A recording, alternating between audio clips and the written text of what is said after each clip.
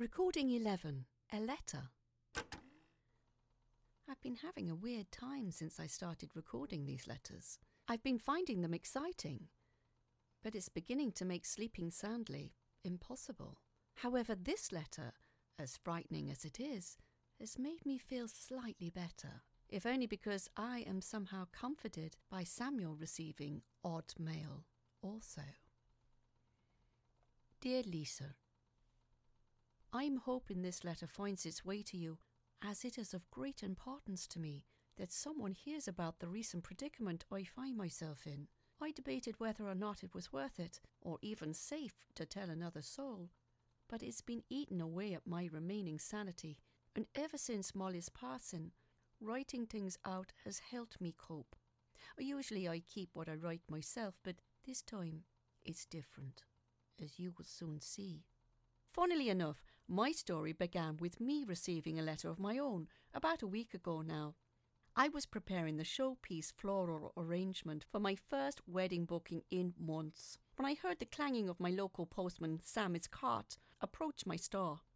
The man had quite frankly always given me the creeps, and if I didn't fear the possibility of retaliation on his part, I would have my post delivered to a P.O. box not in the mood on this particular day due to the stress of the work ahead of me that day, I decided to forego any attempt at pleasantries with him. I tossed the small handful of letters on a nearby table and went to continue my arrangement. But the normally brisk Sammy had decided to linger on and stare at me. Is there anything else? I questioned. Aren't you going to read 'em? He grunted, pointing at the letters just my luck. The one day I decide to not even try with him, he starts taking an interest in me. I'll get around to them later, I answered, continuing my work. He seemed dissatisfied, though, eventually, with a reluctant sigh, he left me alone. The sounds of his carts ominously echoing down the deserted weekday high street. Later that day, once I'd finally did get around to opening them, I came to find a manila envelope with a wax seal amongst the mountains of bills. Obviously, I was very intrigued, ah, as it isn't every day one receives such a fine looking piece of post.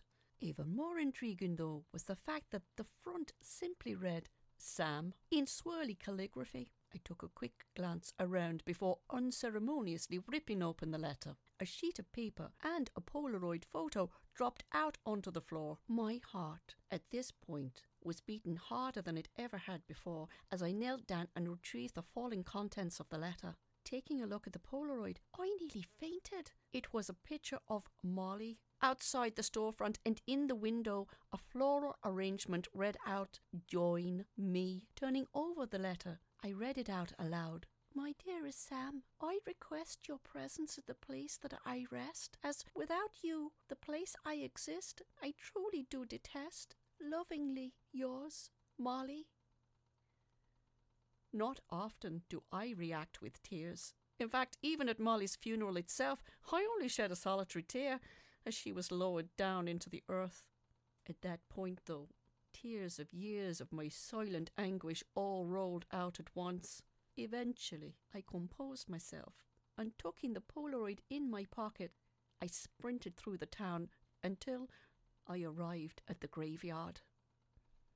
I'm not proud of the fact, but until that point, I had not visited her grave since the funeral.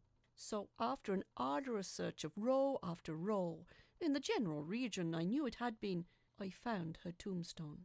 Atop it sat fresh roses inside of a plain vase.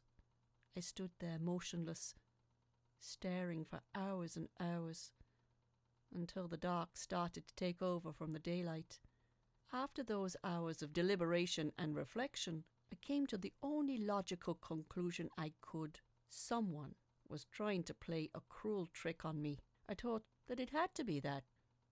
Alas, what happened next was not logical. Nor before it happened did I believe it to be possible. As I turned to leave Molly's grave, the familiar rattle of a postal cart filled the air. Time seemed to legitimately stop. The grass, once blowing in the wind, froze. Birds flying above took a still position in the skyline, and my own body took on a sick imitation of rigor mortis. After what felt like the passing of days, the world snapped back into time and a force barreled into my back, sending me crashing onto Molly's grave. My head smashed into the vase, and a trickle of blood started to run down my forehead as I turned to face my attacker. Standing there, in a form not quite human, but not quite ghostly, was Molly. We stared at each other, my mouth aghast at the sight before my eyes.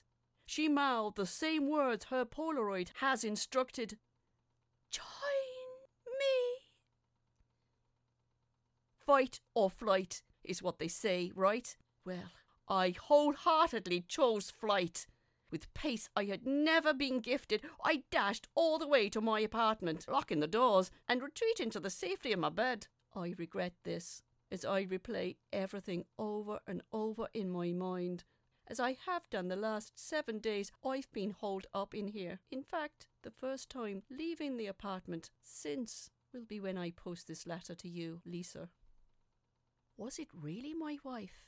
Or has this all occurred within the confines of my mind? I lean towards the former. Also, is Sammy involved in all this? And if so, why? These are a mere drop in the ocean of questions I have, but I find myself with no more paper to relay such a wealth of pondering to you. Really, I'm not sure if I want advice from you, Lisa, or to answer any of my questions. Think it just helps me to know that someone knows the impossible occurrences that I've experienced. Do, however, feel free to respond with your thoughts, if you do wish to. I hope I'm here to reply if you do choose. Regards, Samuel. Well, I'm sorry that this has happened to Samuel. I know how hard it can be to lose someone, but to have them come back, not only come back, but assault you. Well, it's at the very least unnerving. I wish I could respond, as I've said before, but there was nothing about this one that would have given me a clue. However, there was a single small petal lodged in the bottom of the envelope. I recognise it but I can't remember what flower it's from. That was Recording 11 A Letter, written by Thomas Cronin, read by Caroline Lawrie.